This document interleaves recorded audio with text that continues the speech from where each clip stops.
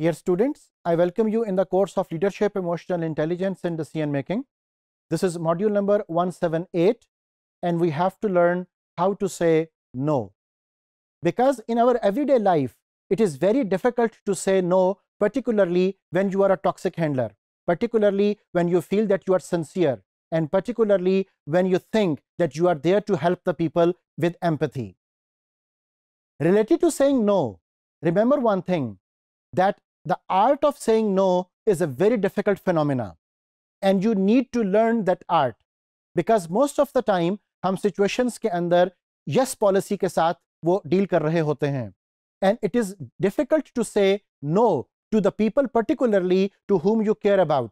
to whom you think are your followers to whom you think are the people who are dependent upon you it is very difficult to say no but remember that saying no can even be sometimes in their own interest or unka interest predominantly tabhi meet hoga when you are able to approximate and estimate your own capabilities and your own competencies and proficiencies because saying yes is easy but after saying yes आप शायद situation को tackle ना कर सको तो फिर एक ज्यादा सिचुएशन खराब होने के चांसेस वो हो सकते हैं so as we said as we discussed कि हमें इस बात को एस्टिमेट करना है कि कहाँ पर हमारी ज़रूरत है और कहाँ पर आपके लिए क्लियरली नो कह देना वो ज़रूरी होगा। इस मकसद के लिए there are simple aspect when to say no and how you can deal with the situation particularly when you say no you have to convey the empathy because empathetic होना वो तो बहरहाल ज़रूरी है आइदर यू से यस और you say no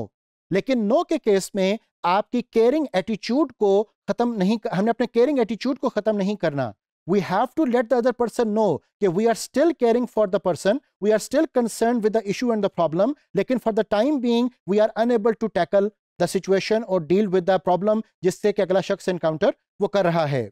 The second important thing is, tell them you are currently not in a position to be most helpful to them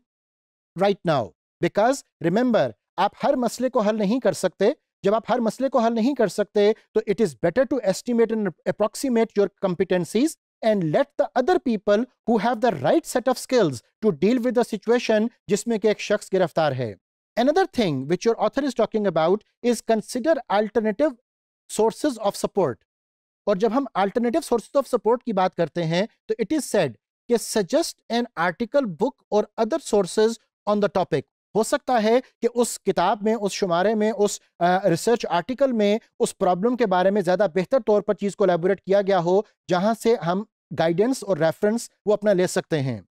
Another thing can be refer your colleagues to another person हो सकता है कि एक और शख्स जो expertise रखता हो, उस किस्म के प्रॉब्लम को हल करने के लिए that is the right person जहाँ पर उस शख्स को रबता वो करना चाहिए। And last but not the least point is that motivate the person to develop self-renewal capability, because self-renewal capability is very important, ताकि आप हमेशा दूसरों पर डिपेंडेंट ना रहें, बल्कि आपको इंडिपेंडेंट या इंटरडिपेंडेंट होना भी वो आना चाहिए। डियर स्टूडेंट्स याद रखिएगा कि interdependence is the most important thing कि जिसमें के गिव एंड टेक दोनों तरफ़ से हो रही है it's a two way flow और बेसिकली दोनों लोग आपस में इंटरडिपेंडेंस के अंदर जब शेयरिंग करते हैं तो that thing creates the synergy and much better outcomes as compare to अगर दोनों इंडिपेंडेंट या डिपेंडेंटली काम वो कर रहे हों। सो रिमेंबर कि being a toxic handler there are different aspects that you have to deal with और आपको इस बात को भी फोकस में रखना है कि कहाँ पर यस करना है और कहाँ पर नो